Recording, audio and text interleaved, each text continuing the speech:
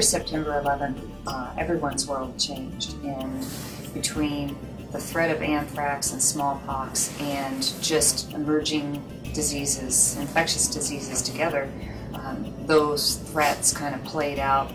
And the ability for us to have this joint project between um, the, uh, the university and Nebraska Health and Human Services, uh, we were able to put together this program and, and help the biocontainment unit become a reality. An otherwise healthy patient arrived at a rural family practice clinic this morning with rapid onset of severe headache, unexplained bleeding, and an elevated temperature. In light of his condition, the clinic nurse suggests to the doctor that they should wear personal protective equipment before interacting with the patient. I think that's a good idea. If there is any chance of exposure to blood or, or uh, fluids, we should use uh, protection.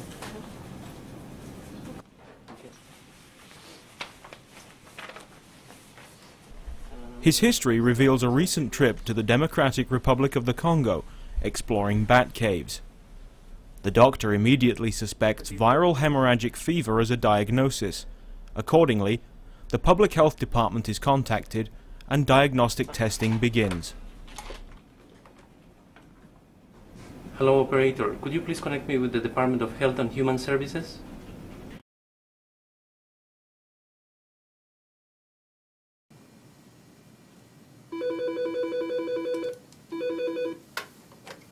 This is Dr. Schaefer. Hi, Dr. Schaefer. This is Tony Sambol with the Nebraska Public Health Lab. I wanted to let you know that we've ruled out malaria in the Mr. Wayne case. Uh, for the time being, we should consider this a case of viral hemorrhagic fever, and we've already contacted the CDC to make arrangements to ship the specimens to them. Okay. All right, thanks. Keep me posted. Okay. Mm, Bye-bye.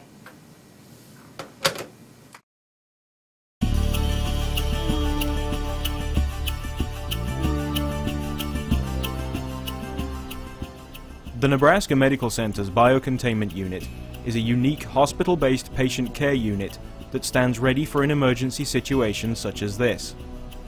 When we were funded in 2004, we put together a team to design the unit, which included the structure, the infection control practices, how we were going to hire staff for the unit, the major decisions that needed to be made. Uh, we had a um, large group of advisors, plus we had some small work groups that looked at all of the issues, uh, regulations, hospital uh, building codes and that to make sure that the unit could function with uh, very high infection control uh, safety practices. We have monthly staff meetings as well as drills every quarter where we actually come in, um, pretend we have a patient and set up the procedures and go through the different things that they would need to do when we open the unit. Well, I think uh, from the very beginning we recognize that this is the type of unit that we may never, we may never use. On the other hand, uh, recognizing the challenges we've experienced in this country since 9-11 and also the concerns we have about pandemic and other types of concerns, having a 10-bed unit of this, this type really gives us more confidence that if in these circumstances we are prepared, or better prepared in ways, to deal with these types of uh, patients. I have to give credit for uh, Dr. Phil Smith, our our uh, Chief of Infectious Disease. Uh, Phil recognized uh, that there may be some opportunities working with the state uh, to uh, utilize some um, uh, some of the, bio, the terrorism, bioterrorism dollars that are available to the state to do a program like this. he appreciated the fact that um, because of difficulties other people have had in these circumstances, um, that this would be valuable and an opportunity if we could do it to make things work.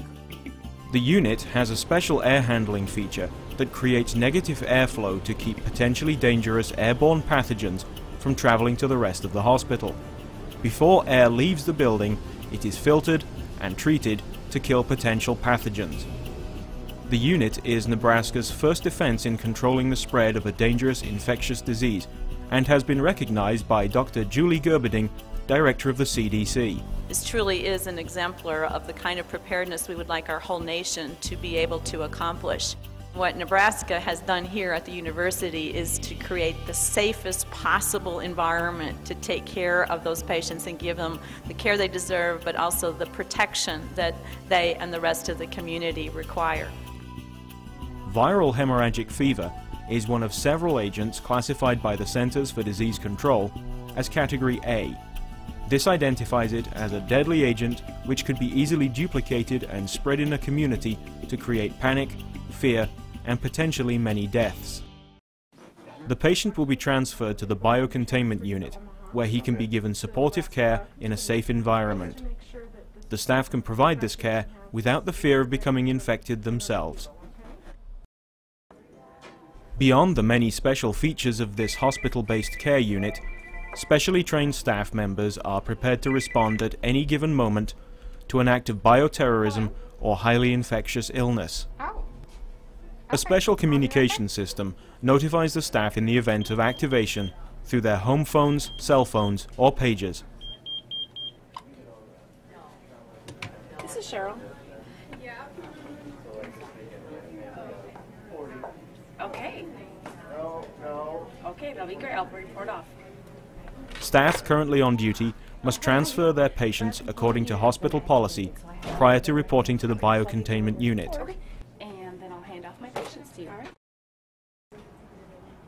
The unit is a secure area that is only accessible to staff with authorized access.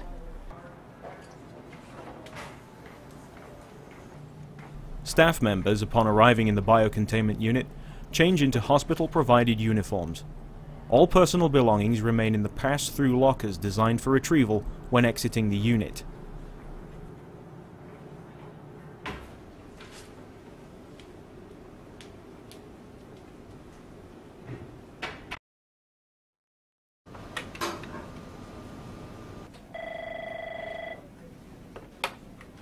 Family Practice Clinic, this is Beth. Yeah, this is Cheryl from the Nebraska Biocontainment Unit. We're preparing to accept your patient. Okay. Do you need any advice on what protective equipment to wear? Okay, great. The ambulance crew is on its way. Thank you very much. I'll get him ready. Thank you. Bye. During the activation period, each staff member participates in preparing the biocontainment unit for the arrival of the patient. The dunk tank is filled with an antimicrobial solution to destroy any potential microorganisms on the outside of lab samples. Items soaked in the solution can be safely transported from the biocontainment unit to the lab. The autoclave is prepared to sterilize any equipment, linen or garbage that is leaving the unit. The unit's supply stock is checked and needed equipment brought in. The patient's room is made ready for his arrival, and medications brought in from the pharmacy.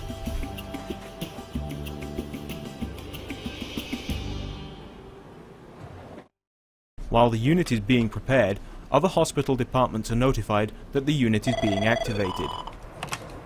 Nebraska Public Health Lab, this is Joel. How may I help you? Yeah, Joel, this is Cheryl with the Biocontainment Unit. We have been activated and we're preparing to transfer a patient into the unit. And this isn't a drill. Okay, we'll be up there to assist you. Okay, we'll call you as soon as we know anything. Thanks, bye. And finally, the staffing schedule is prepared. The activation checklist is all finished and we're ready to take the patient. ETA in the ER is 30 minutes. Well done, Cheryl. The ambulance crew arrive to collect the patient from the clinic. They have used standard precautions in the transfer of the patient. The patient has also been dressed accordingly.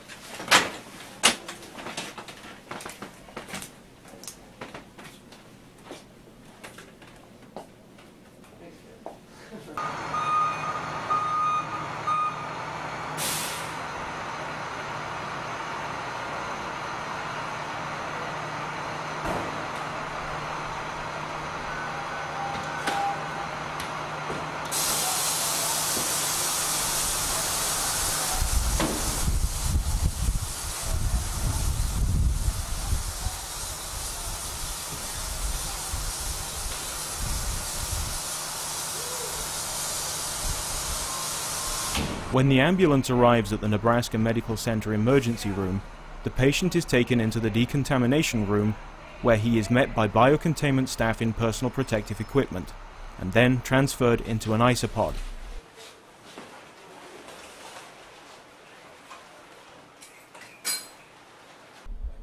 The isopod is an apparatus used to transport a highly infectious patient without the risk of contaminating the hospital.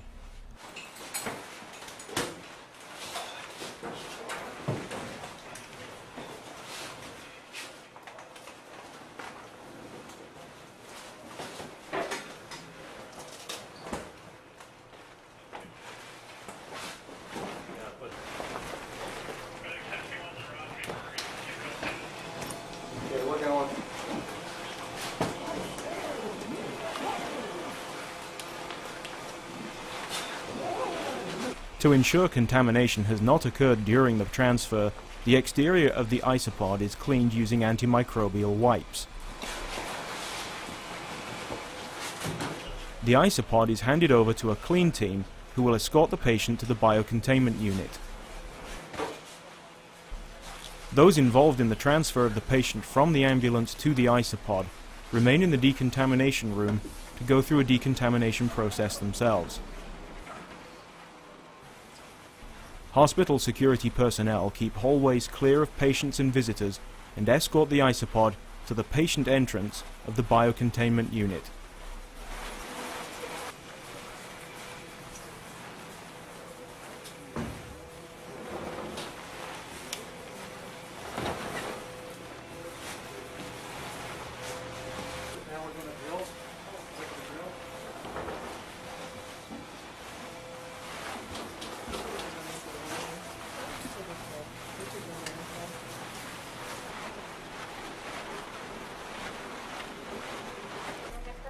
Patient entrance in the biocontainment unit is protected by a double door negative air pressure system that maintains the negative pressure within the unit. Both doors cannot be opened at the same time. Once the cart with the patient enters the external doors and they are closed, the inner doors may be opened. Special sensors monitor the airflow in the unit at all times.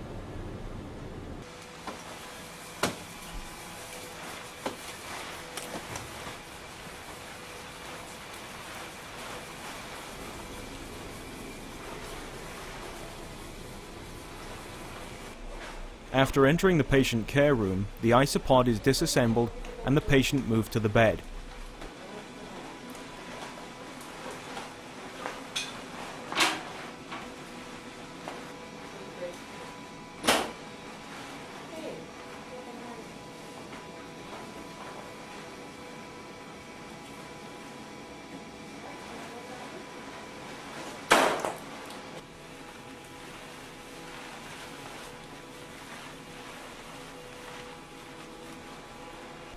The biocontainment unit is equipped to provide high acuity patient care. This includes cardiac monitoring, ventilator therapy, and dialysis if necessary.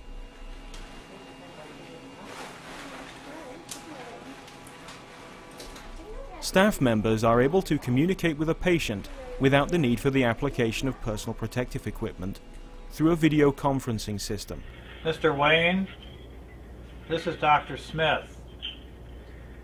You're in the biocontainment unit, and I'll be in to see you in a few moments.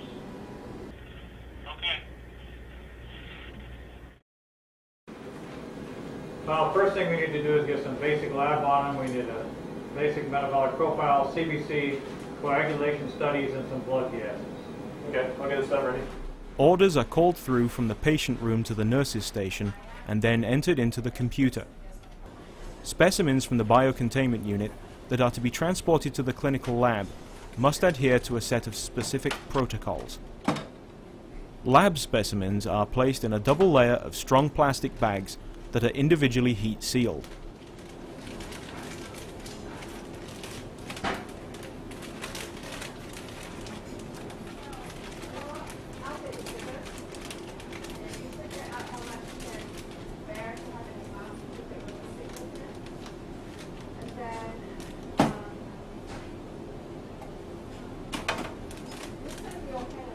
The specimens are then submerged in a dunk tank that contains an antimicrobial solution for 10 minutes. This will destroy any contaminants on the external surface of the bags. After placement in the dunk tank, a countdown timer is activated for 10 minutes and placed so it can be seen by those collecting the specimen from the clean side of the biocontainment unit.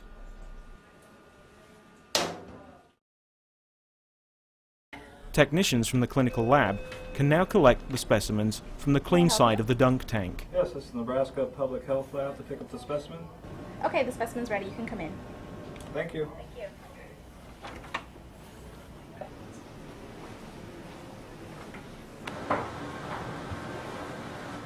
Those collecting the sample will not require special personal protective equipment to enter the clean side of the biocontainment unit.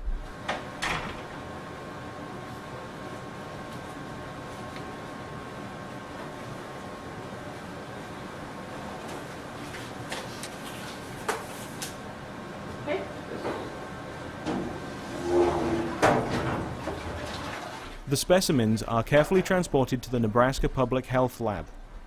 The lab is located on the Health Science Center's campus. Classified as a Biosafety Level 3 laboratory, it specializes in identifying these dangerous diseases and can perform clinical testing on patients who may be ill from them. In addition to the dunk tank, the biocontainment unit has other unique features designed to control the spread of disease. One such feature is the pass-through autoclave. This allows for equipment, linen and waste to be sterilized before exiting the unit. Items that are sterilized can be safely retrieved from the clean side of the autoclave and transported to their destination without the risk of spreading disease. The unit is also prepared for external threats such as fire and weather emergencies with special firewalls and windows.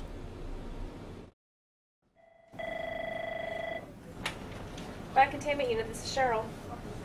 Hi Cheryl, this is Tony Sambol with the Nebraska Public Health Lab. Uh, we have the results for the ISTAT testing for Mr. Wayne, and we're going to put those into the computer system now, so you should have those in a few minutes. Okay, great, thank you. Talk to you later. Bye.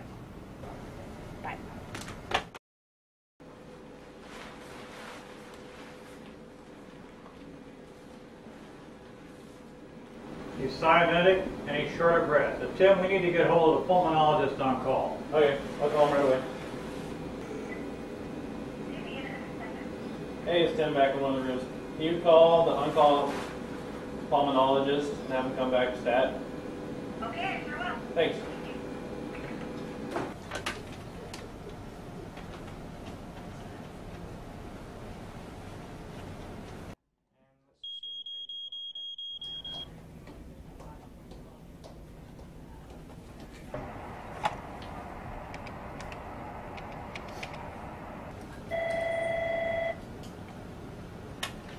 Biocontainment unit, this is Cheryl. Hello, this is Dr. Susanna Von Essen. I was paged. Yes, we did. Um, we have a patient experiencing respiratory difficulty, and Dr. Smith has requested that you uh, come see the patient for a consult. Okay, thank you. I'll be right in. Thank you.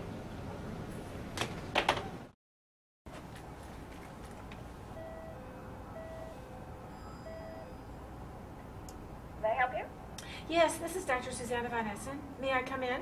Yes, please. Come on in. Thank you. If a consultation from a specialist or the services of other staff within the hospital are required, the individuals will be assisted in donning their personal protective equipment by biocontainment unit staff members before they engage in the care of the patient. After the interaction, they will also be assisted in properly doffing their dirty personal protective equipment.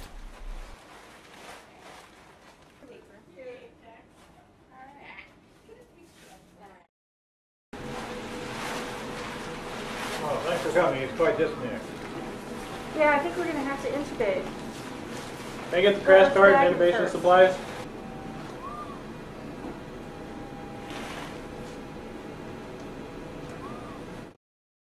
Right after the attacks of 911 and the anthrax mail attacks, there was a lot of anxiety about bioterrorism, and we knew that terrorist groups had weaponized some of these agents, so we were thinking about preparing for a national response to bioterrorism. In 2003, the child was admitted to a hospital in Illinois with monkeypox, and because of fear of the disease, many of the doctors and nurses refused to take care of her, and she nearly died. So, with this in the back of our minds, uh, Dr. Raymond and I thought we really need to develop uh, a place where we can take care of these patients uh, where it's safe.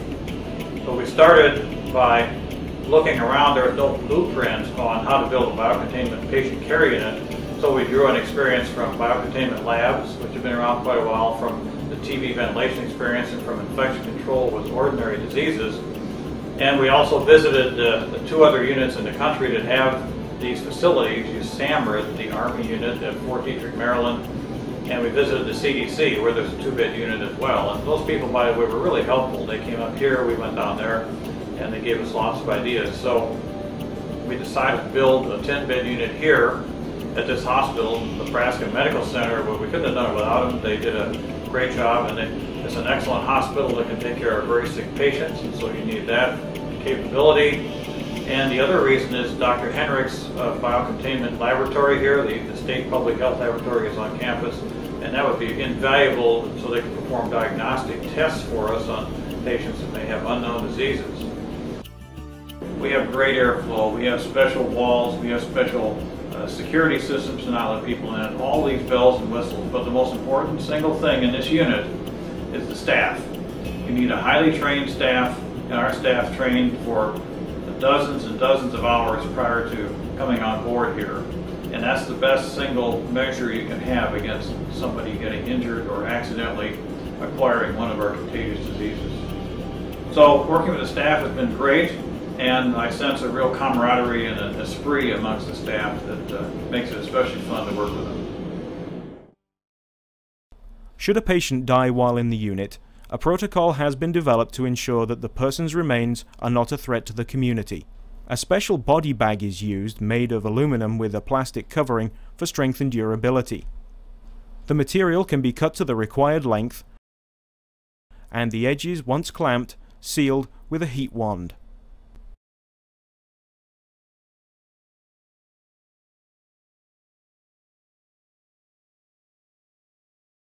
The exterior can then be wiped down with antimicrobial wipes and taken for cremation.